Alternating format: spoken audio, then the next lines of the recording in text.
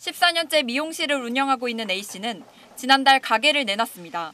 코로나 사태를 버텨보기 위해 9천만 원을 대출받았지만 매출은 나아지지 않았고 매달 내야 하는 원리금은 250만 원에 달하다 보니 가게 보증금을 빼서 빚을 갚기로 한 겁니다. 물가가 올라서 그 재료비도 나가는데 거기다 대출금까지 하면은 저는 직원 월급보다도 더 못 가져가거든요. 내놓는 게 낫겠다 싶어서 지난해 4분기 말 자영업자의 금융기관 대출 잔액은 사상 최대인 1,019조 8천억 원.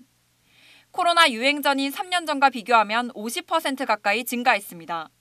특히 소득 하위 30% 저소득 자영업자의 대출은 그 사이 70%나 늘었는데 금리가 높은 상호금융과 보험, 카드 등 이금융권 대출이 급증했습니다. 코로나 기간 동안 소상공인과 중소기업 등의 원리금 상환을 유예하거나 만기 연장 대환 대출 등 각종 금융 지원책을 이어왔는데 근본적으로 업황이 회복되지 못하면서 결국 임시 방편에 그쳤습니다. 암만 대출을 저희가 뭐 한다고 해도 나중에 갚아야 하는데 물가 안정이 안 된다 하면 그게 무슨 소용이 있을까 싶어요.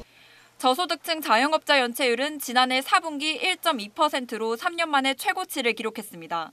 연체율이 올라간다 그러면은 이게 점점 이제 부실화될 가능성이 있는 거고요. 자본이 충분하지 않은 저축은행들 같은 경우에는 상당히 좀 위태로운 상황이 될수 있는 거죠. 오는 9월부터 상환유예 등 금융 지원이 종료되면 추가 부실이 우려돼 선제적 대응이 필요합니다. SBS 박예린입니다.